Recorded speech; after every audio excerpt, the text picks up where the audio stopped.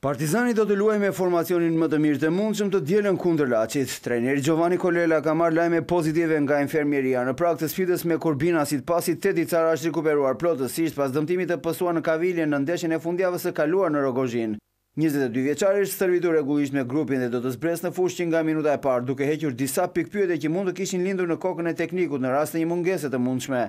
Ndërkohë mbrojtësi Maqedonas Atanasovski, gjithashtu një rikuperim i rëndësishëm për repartin e tërhequr të mbrojtjes qytetase, që tregoi se ka limitet të dukshme. 26 vjeçari ka qenë një nga titullarët e padiskutueshëm të formacionit të kugjë këtë sezoni, ndërsa ka sinjale pozitive edhe nga mesfusha, ku Bruno Telushi duket gati dhe mund t'i japë dorë të rëndësishme skuadrës duke nisur spiten nga soli.